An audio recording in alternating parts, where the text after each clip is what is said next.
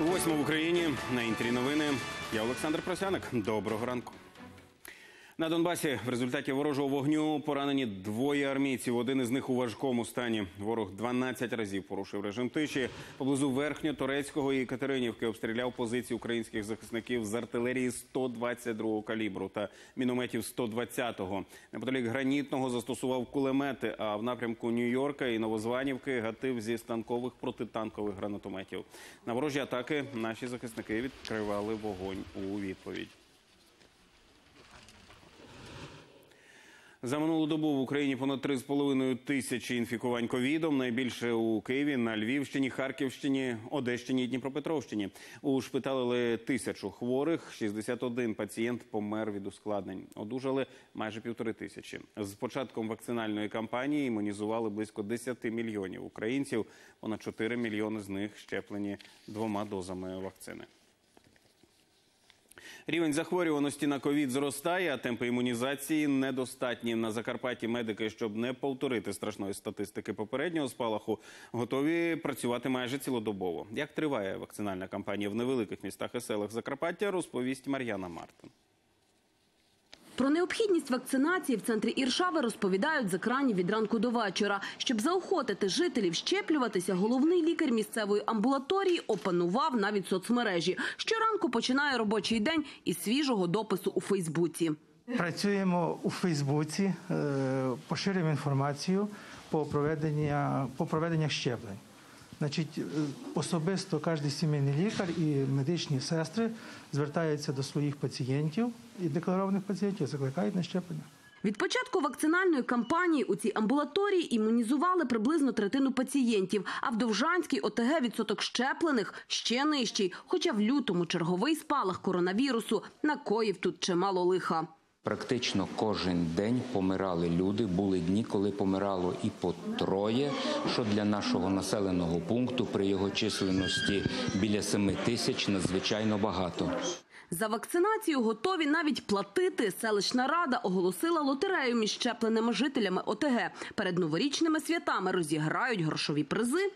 Ну і одна з вразливих верст, по якій вдарили локдаун, це були підприємці, які долучилися до цієї антиковідної лотереї.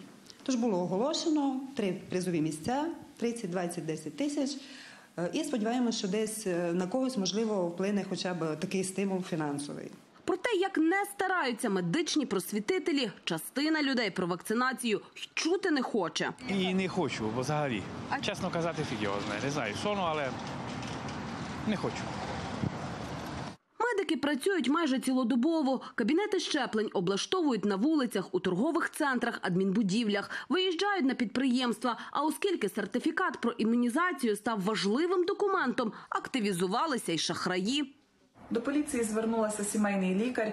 Жінка повідомила, що її печатку невідомі підробили, і таким чином, використовуючи її, е, виготовляють незаконно підроблені сертифікати про вакцинацію від ковід. Поліцейські нагадують, що за такі оборудки передбачена кримінальна відповідальність. А медики вкотре закликають не вірити у страшні міфи про вакцинацію і не втомлюються повторювати. Щеплення єдиний надійний метод уберегтися від поширення недуги. Мар'яна Мартин, Юрій Ковальов. Новини телеканал Інтер. Закарпатська область. На Дніпропетровщині агрофірма утримувала в неволі 120 людей. Їх знаходили на вокзалах Дніпра, Києва та Одеси. Обіцяли триразове харчування, житло, зарплату. Натомість люди працювали задарма, не доїдали і спали у напівзруйнованому приміщенні. Правоохоронці затримали організаторів. Їм загрожує до 12 років ув'язнення. Робочих змушували працювати від 12 до 16 годин у виробнично-складських приміщеннях та на полях у сезон за збору урожаю. У випадку спроби потерпілих самовільно покинути територію підприємства, зловмисники погрожували їм фізичною розправою. Зловмисників затримано це четверо чоловіків та одна жінка. До суду скеровано клопотання щодо обрання запобіжних заходів у вигляді тримання під вартою. Українські прокурори вислухали свідчення родичів у справі МН-17 на процес щодо збитого в небі над Донбасом пасажирського Боїнга до Гаазького суду прибула делегація на чолі з генпрокурором України Іриною Венедиктівою. Е, Подробиці слухання далі. Про те, що відчували тієї миті, коли дізнались про збитий літак, як намагались оговтатися після горя і чого очікують від суду. Свої промови перед суддями родичі загиблих виголошують третій день поспіль. Ми дуже добре розуміємо, що багато хто намагається вплинути на висновки правосуддя. Звісно, події стосуються воєнного періоду, але водночас зрозуміло, що его великих людей на цій планеті більше за відповідальність оприлюднити факти.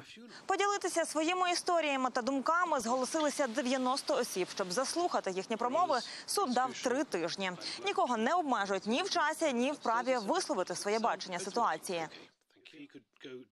Якщо я знатиму, хто натиснув на кнопку і хто дав наказ стріляти, мені значно полегшає. Покарання для мене більше не важливе. Якщо винуватці житимуть ще довго, я сподіваюся, що їхня підсвідомість ще їх дожене. Вони не зможуть більше спокійно спати через те, що скоїли. Можливо, Кремлін чи Путін колись попросять вибачення і визнають свою відповідальність. Можливо, але найімовірніше ні.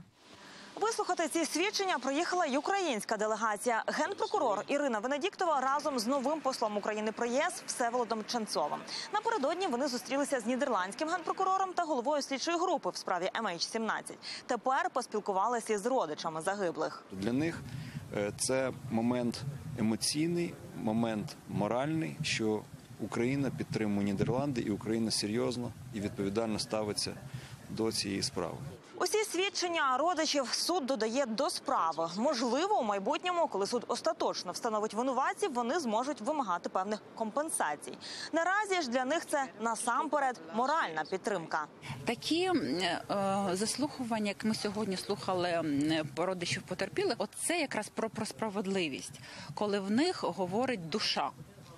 І це настільки важ, важливо для нас всіх тримати в фокусі саме людину, тримати в фокусі потерпілого. І мені здається, що коли колись придумували суди, їх придумували для цього. Заключне слово в цій частині справи щодо безпосередніх виконавців злочину, тих, хто привіз комплекс БУК та стріляв із нього в літак. Нідерландські прокурори виголосять уже в листопаді. А суд своє рішення оприлюднить за рік наступної осені. Олена Абрамович, Олег Навідомський, Європейське бюро телеканалу Інтер. Південь Іспанії охопили лісові пожежі. Загинув 44-річний рятувальник, який гасив вогонь. Найбільше потерпає регіон Малага. Там із одного з населених пунктів евакуювали майже тисячу людей. Деякі автошляхи через полум'я заблоковані. До гасіння також залучили гелікоптери та літаки. Однак сильний вітер заважає взяти займання під контроль. Мексика бореться з наслідками повені. З берегів вийшла річка Тула. 17 людей загинули. Усі пацієнти ковідного шпиталю. Висока вода знеструмила лікарню і припинилося постачання кисню в палати. Всього від паводка постраждали дві тисячі будинків. Ми втратили все. Не знаю, де тепер шукати роботу. Цей ресторан відкрила 40 років тому. Моя мати вона поклала своє життя, щоб нам добре жилося. Наш заклад був відомий. Боляче дивитися, що з ним стало. Затопило і Венесуелу. Внаслідок рясних злив з берегів вийшла річка Морон. У зоні стихійного лиха опинилися понад дві тисячі сімей. Водою залило перші поверхи їхніх будинків. Про жертв і постраждалих поки що не повідомляють. Ціна на газ у Європі перевищила позначку 700 доларів за тисячу кубів. Уперше в історії. Зокрема, таку вартість зафіксували в Нідерландах. Це обумовлено низькими запасами в європейських сховищах. За місяць до початку опалювального сезону вони заповнені лише на 70%, а це менше за середній рівень, який спостерігався впродовж останніх п'яти років. У Франції попрощалися з легендарним актором Жаном Полем Бельмондо. Церемонія відбулася у почесному дворі Паризького будинку інвалідів. На прощанні були родичі, політики, діячі культури та спорту. Віддати останню шану приїхав і президент Еммануель Макрон. Потрапити на церемонію за спецперепустками змогли близько тисячі шанувальників актора. Решта спостерігала за церемонією на гігантських екранах, встановлених у дворі. Жан Поль Бельмондо помер чотири дні тому. Йому було 88. У кіно він дебютував 56-го, зіграв понад сотню ролей. У 2011-му йому вручили почесну золоту пальмову гілку Канського кінофестивалю. А у 16-му золотого лева за внесок у світовий кінематограф. І наразі це все. Більше новин буде у випуску о 9 Тоді побачимося. До зустрічі.